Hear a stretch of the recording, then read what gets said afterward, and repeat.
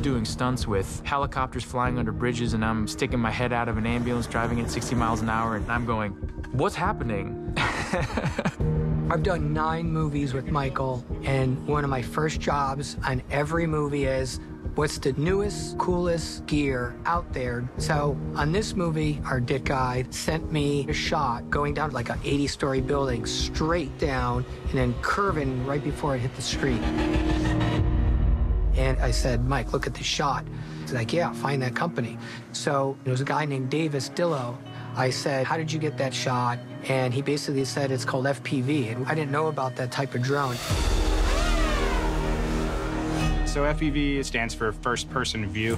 Essentially, the pilot is wearing goggles and they are immersed in the camera so that they can see exactly where the drone is as if they were there. It's more like a real fighter pilot situation.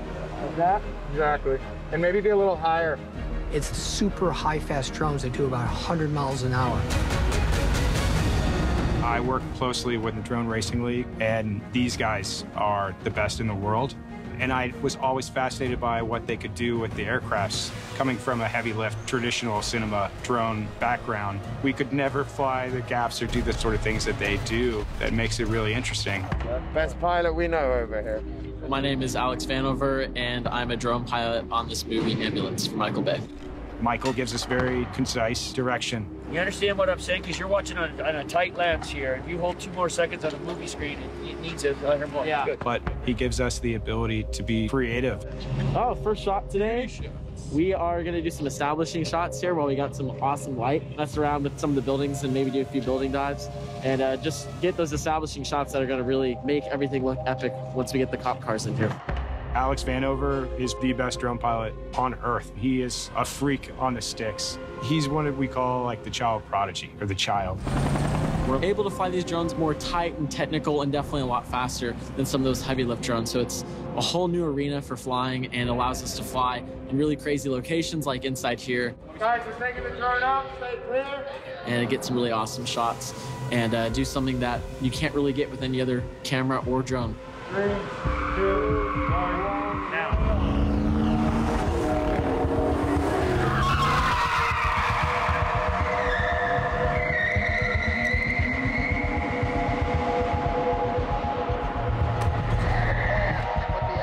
The skill level and the difficulty of flying an FPV drone versus traditional heavy lift drones is much different. There's no autopilot system. It's all instinctual. It's completely on the pilot.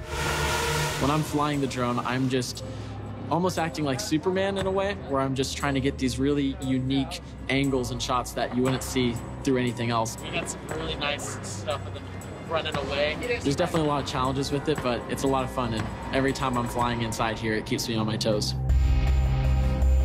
Our first day, they did the glass shot coming down the building, right on top of the ambulance. The Air Korea building is one of the tallest buildings in downtown LA. We went top to bottom in a little under two seconds, a few feet from the window. We're looking into the window at the reflections down at downtown, and no one had ever seen or imagined a shot like that. Here's your pace. Yeah, that's perfect. That's perfect. I like that. Good. Yeah, it was great. And Michael looked at me and said, I love these guys. Boom. Look at, oh, white. Okay, great. Dang. So you've got drones, and their skill set has grown tremendously, but there's still a call for that practical helicopter work. You just stay low, and then as it keeps going, you're going to want to boom it up slightly. Don't boom up right away. Bring it low, then start to go up. Okay? They're the best helicopter pilots in the world who have done stunts that no one could ever even imagine, and that's how Michael works. He has real professionals and people who have thought it through, even in the fast paced nature of how he's made this movie.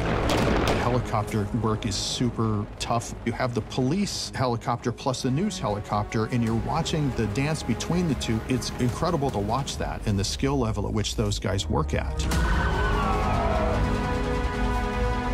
Level of professionalism behind the stunts was amazing. And that's what I have a lot of respect for, Michael, that he hires professionals around him and everyone is the best at their job. And I think that is the skill of a great director, moving with the people who really are at the highest level.